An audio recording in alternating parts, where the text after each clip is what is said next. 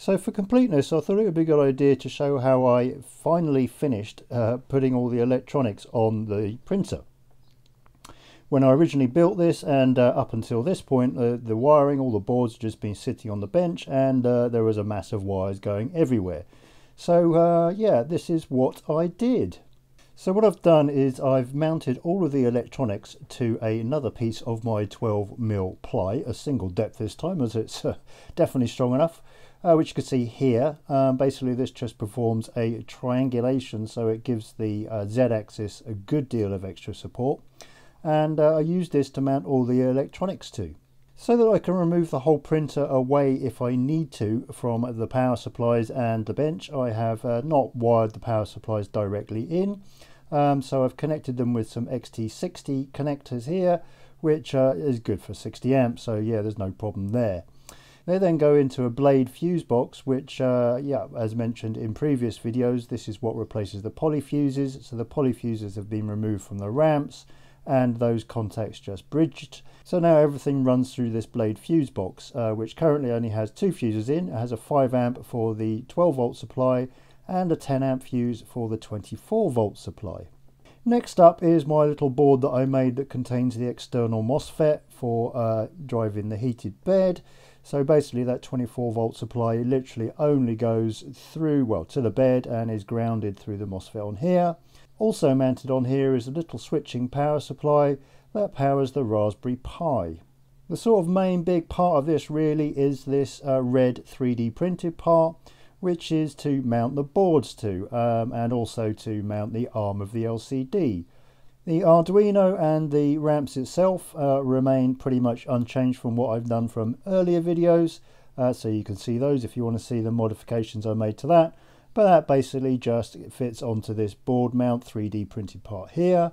And the Raspberry Pi mounts into another part of the board mounting uh, 3D printed part um, and it is permanently connected to the ramps and also as I mentioned has its own little power supply so it's powered up when the uh, printer is turned on. There is a network connection for it which means that I just control the printer via Octoprint now over the network. So the LCD mounting arm also secures into this 3D printed part. As you can see, the actual uh, flexible arm is one of these, with it and the cable that carries all the signals and powers to the LCD module being wrapped up in some nice green braid. The wiring for the uh, LCD cable is covered in a great deal of depth in an earlier video, uh, so I won't be talking about that here. So other than that, I basically just tidied up all of the wiring, um, and put it all in this green braiding to match my green 3D printed parts for the printer. Uh, so we've got a general luminous green thing going on. So I uh, mounted the whole thing to a repurposed office desk, which I managed to pick up for nothing. And to keep things as clean as possible, I have mounted uh, both power supplies uh, behind and underneath the desk. And after running it in this configuration, the braced side of the Z-axis is now rock solid, but I could see some vibration on the right side. So I have decided to add a brace to that side as well, which makes it symmetric at least.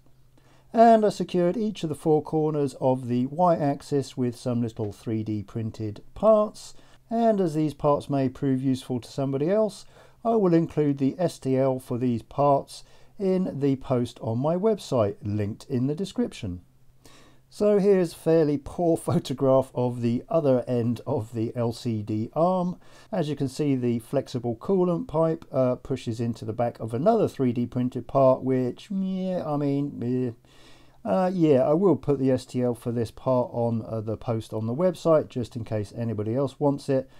And this is the other end in a little bit more detail of that flexible arm going into my uh, board mount uh, 3D printed part and secured in with the strangest shaped nut you have ever seen. And then I decided to make a spool holder, which is which is made out of a, a refashioned clothes rail, which uh, I came across a few weeks ago whilst clearing out. Uh, I had, I was just about to throw it away, and then I thought, hmm, this might be useful to make a spool holder out of. So uh, yeah, that is basically mounted up there and uh, you can just about see here uh, an LED strip light just to light things up again attached to the uh, 12 volt power supply so that it turns on with the printer. And uh, yeah, that's about it. Uh, at some point I may make a cover for the electronics out of this piece of uh, little MDF jobby. Um, I'll probably yeah, cut some holes in it, probably mount a fan, put some mesh in it so uh, I can still get the airflow through to keep everything cool. Uh, but that's kind of low priority really because it's mostly aesthetic.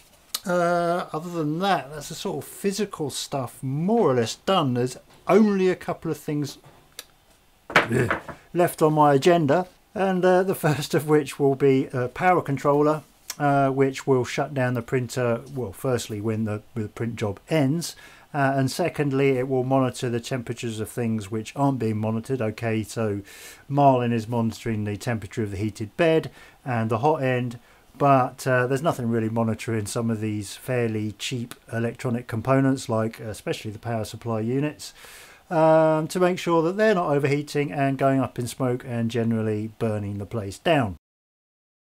So yeah, going to make a power controller that monitors the temperature of various points which will I'll be able to send um, G code, well actually M code, mm, to uh, at the end of the print so it'll shut everything down and also if the temperature of something gets a little bit iffy then it will also shut it down. So uh, yeah, other than that, the other thing I wanted to try and get done right back at the beginning was printing ABS because that's kind of what I need off the bat. Um, so we'll get to that. so yeah.